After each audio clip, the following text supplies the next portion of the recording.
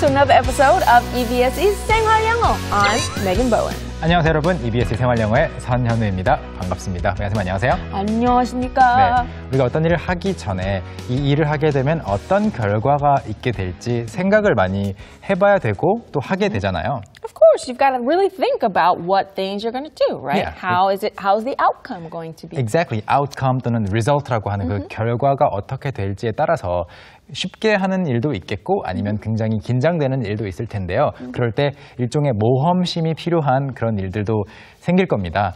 네, 오늘은 이와 관련된 재미있는 영어 표현을 가져와 봤습니다. 자연과도 관련이 있고요. 그리고 네, 아무튼 재미있는 비유적인 표현인데요. 그것을 또 직접 그냥 알려드리지 않고 일종의 퀴즈를 내고 있죠. That's right. You're going to take a look at the monologue, and through that, we hope you can guess today's keyword. Keyword.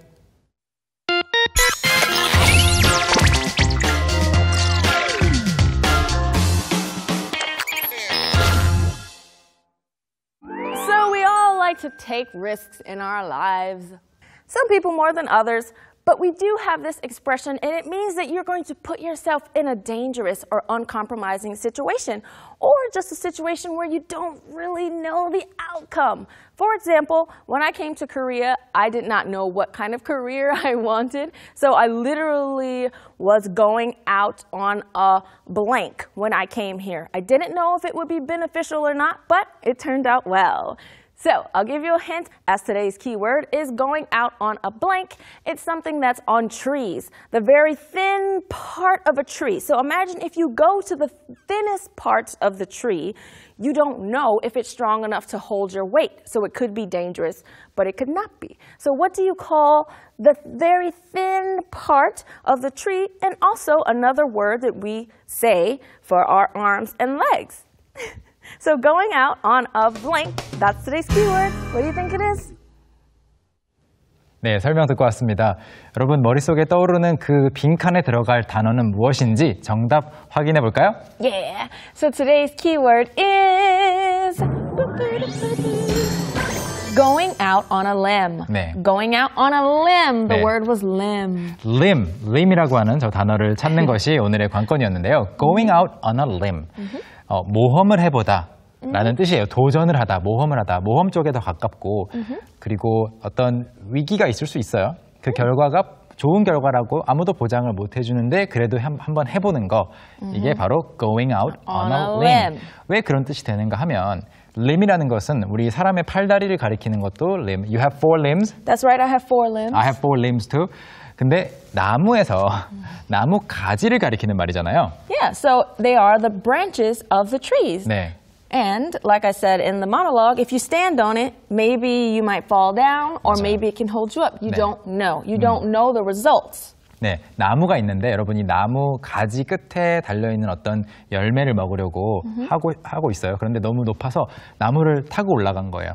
그래서 이 가지를 밟고 끝까지 갔는데 이게 나를 버텨 줄지 안 버텨줄지 모르지만 그래도 한번 가보는 거 모험하는 거죠. 그래서 이것이 여기에서 이 유래가 좀 변하고 변하고 해서 모험하다라는 뜻으로 많이 쓰이고 있습니다. Yeah, we use it a lot. So 네. I'm glad that we could go over it today. So since, we, since we've explained it a little bit, how about we have a conversation using going out on a limb to warm up a little bit more? 네, 간단하게 워밍업 차원에서 대화를 조금만 나눠볼게요.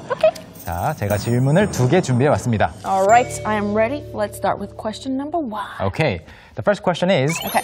have you gone out on a limb for someone? 누군가를 위해서 좀 네, 위기가 있지만 위험 요소가 있지만 그래도 모험을 한번 해본 적이 있나요? Yes. So uh, my friend had a business idea, but in order for me to join, I would have had to quit the comfortable job that I had. Okay. Yeah. But I believed in them and I said, I'm going to go out on a limb. So I quit my job and went for it. So you, you decided to do it. Yeah, I decided to do it. 네. 그래서 메간 선생님이 원래 하고 있던 편한 일이 있었는데 친구가 어떤 사업 제안을 해서 이걸 그만두고 이렇게 go out on a limb 한 적이 있다는 이야기였어요. Yeah. 그래서 이제 대충 상황이 어떤 상황인지 감이 오시죠. go out on a limb. 불안하지만 이 나뭇가지가 흔들려서 뚝 부러질지 아니면 버텨줄지 모르지만 해봤다. 이럴 때 쓸 수 있는 것이 바로 go out on, a limb. Yeah. Do you have any great examples besides maybe business or job related things? go out on a limb. 글쎄요. 지금 딱 떠오르는 건 없는데 그냥 일상적으로 저는 좀 더 가벼운 것들 있잖아요. Oh, yeah. 친구가 여기 놀러 가자 했는데 yeah. 여기보다 더 재밌는 곳이 있을 수도 있잖아요. Ah, 그래도 go out on a limb 하고 그냥 여기를 가봤, 가봤다 이런. 것쓸 수가 있어요. Yeah, so you can also use it lightly in real, like daily life Yes. examples as well. It's the same thing. It doesn't need to be something so big. Yes. Perfect. Doesn't have to be something big. Right. 자, 그리고 두 번째 질문 드릴게요. Okay, second 네. question. Go out on a limb이라고 하는 이 표현을 소개했는데요. What are some other ways to say the same thing? Mm-hmm. 이게 너무 길다. Go out on a limb. 다섯 단어로 되어 Right. 있는데요. 다른 표현은 또 뭐가 있을까요? You could say maybe take a risk. Take a risk. Mm-hmm. 네, take a risk. 위험 요소가 있지만 그것을 무릅쓰고 한번 해보다 이런 표현도 같이 쓰면 좋을 것 같습니다. Yeah. Okay, so that wraps up our conversation part. We're going to take a look at the monologue one more time. So, we all like to take risks in our lives. Some people more than others, but we do have this expression, and it means that you're going to put yourself in a dangerous or uncompromising situation, or just a situation where you don't really know the outcome. For example, when I came to Korea, I did not know what kind of career I wanted, so I literally was going out on a blank when I came here. I didn't know if it would be beneficial or not, but it turned out well. So, I'll give you a hint as today's keyword is going out on a blank. It's something that's on trees, the very thin part of a tree. So, imagine if you go to the thinnest parts of the tree, you don't know if it's strong enough to hold your weight. So, it could be dangerous, but it could not be. So, what do you call the very thin part of the tree? And also another word that we say for our arms and legs.